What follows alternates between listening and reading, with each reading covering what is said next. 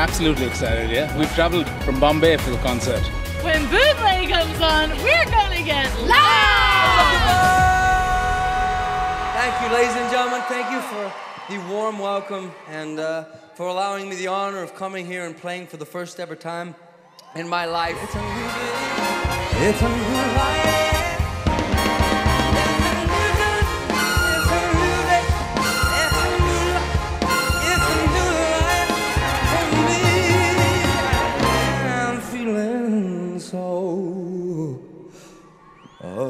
go.